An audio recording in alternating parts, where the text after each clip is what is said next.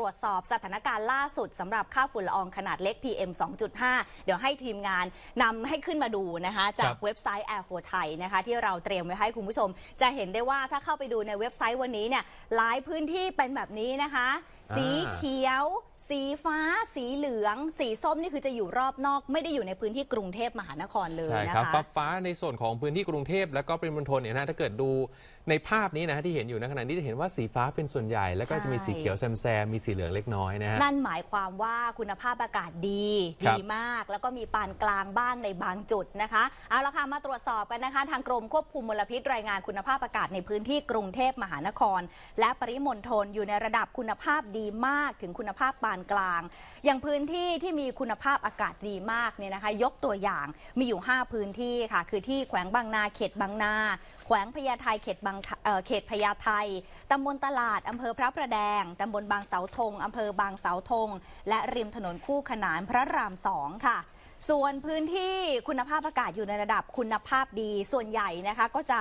อยู่ริมถนนมีจำนวน 14 พื้นที่ และพื้นที่ที่มีคุณภาพอากาศปานกลางมี 1 พื้นที่ค่ะ คือริมถนนกาญจนาพิเศษเขตบางขุนเทียน อันนี้ในพื้นที่กรุงเทพมหานครและปริมณฑลนะคะ ถ้าจะขยับไปดูทางภาคเหนือกันบ้าง ภาคเหนือคุณภาพอากาศอยู่ในระดับคุณภาพดีมาก ถึงเริ่มมีผลกระทบต่อสุขภาพค่ะ โดยพบค่าฝุ่นละออง PM 2.5 ตรวจพบค่าระหว่าง 10ถึง 67 ไมโครกรัมต่อลูกบาศก์เมตร พื้นที่ที่เกินมาตรฐานเนี่ยนะคะ เกินค่ามาตรฐานอยู่ที่ตำบลนาจักรอำเภอเมืองจังหวัดแพร่ค่ะครับส่วนภาคอีสานคุณภาพอากาศอยู่ในระดับคุณภาพปานกลาง ถึงเริ่มมีผลกระทบต่อสุขภาพ ค่าฝุ่นละออง PM 2.5 อยู่ระหว่าง 54ถึง75 ไมโครกรัมต่อลูกบาศก์เมตร เกินมาตรฐานอยู่ที่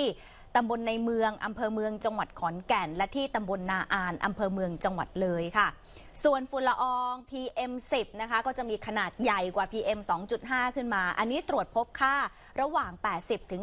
128 ไมโครกรัมต่อลูกบาศก์เมตร เกินมาตรฐานอยู่ที่บริเวณตำบลในเมืองอำเภอเมืองจังหวัดขอนแก่น แปลว่าที่ขอนแก่นเนี่ยมีทั้ง PM 10 PM 2.5 นะคะครับคาด การณ์ว่าในวันพรุ่งนี้ปริมาณ PM 2.5 ในพื้นที่กรุงเทพมหานครและปริมณฑลมีแนวโน้มลดลง เนื่องจากหลายหน่วยงานดำเนินมาตรการเพื่อลดฝุ่นละอองอย่างเข้มข้น ส่งผลให้ปริมาณฝุ่นละอองลดลงค่ะ